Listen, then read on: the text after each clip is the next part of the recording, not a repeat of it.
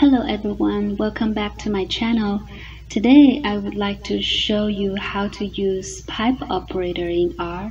So what is it?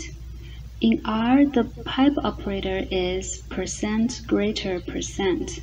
So this sign, if you are not familiar with F sharp, you can think of this operator as being similar to the plus in a ggplot2 statement.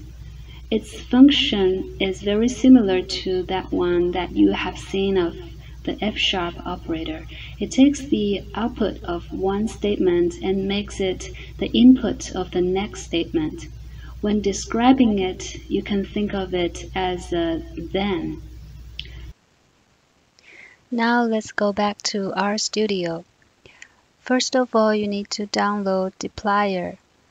Um, so I've already installed dplyr here in this environment.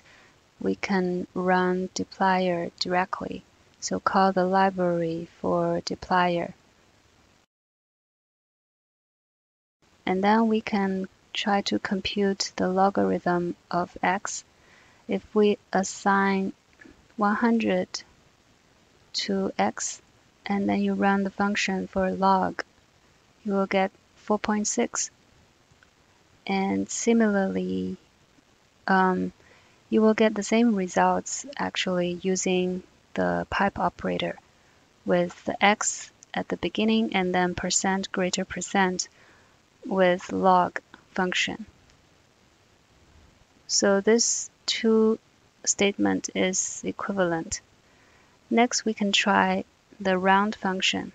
You put pi and round up to be six digits uh, round up to be six decimal place. And using the pipe operator, you get the same result. So these are just single basic piping. Um, and then I think it will give you the advantage of a cleaner code when you have a more complex argument.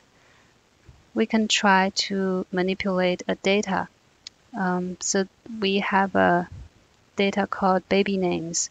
So these are the baby names from the United States. Let's call this library and show you the data. We have uh, five columns here, the year, the sex, the baby names, and also the counts and proportion.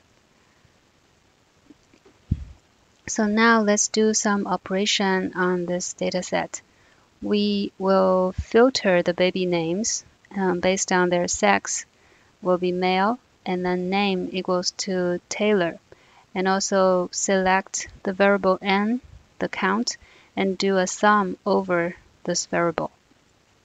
So this is the task we're going to perform on this data set.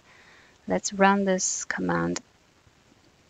So you will get uh, about 109852 number of male babies named Taylor. So since this is a very long statement, we wanted to break down it into single functions for the operation that we did for the baby names. The baby names is the data that we wanted to operate on.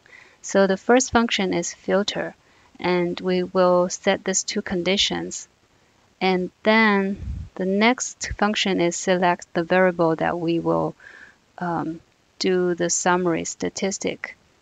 The last function is the sum, sum over the variable that we selected. Um, so this statements, this piece of code that using the pipe operator will return the same result as the one we write in one row, but it will look more clear. Um, so I hope you learned something out of this video and thank you for watching. Bye bye.